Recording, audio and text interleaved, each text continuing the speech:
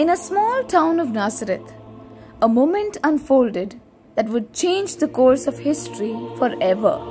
It was a moment of profound faith, deep humility, and unparalleled courage. The moment of Mary's fiat. The angel Gabriel appeared to Mary with a message from God, a message that would require an extraordinary act of trust. Mary was to become the mother of the Savior, the one who would bring salvation to the world. Faced with the unknown, Mary did not hesitate. With a heart full of faith and obedience, she responded with the ultimate yes. She said, Behold, I am the handmaid of the Lord. Let it be to me according to your word.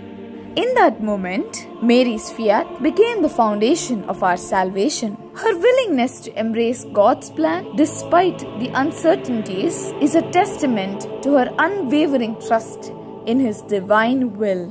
Mary's yes is more than an act of obedience. It is an invitation to each of us. She shows us that saying yes to God's plans, even when they challenge us, leads to grace and fulfillment beyond our imagination. As we reflect on Mary's fiat, may we find the courage to trust in God's plan for our lives, to say yes with the same faith and love that Mary showed.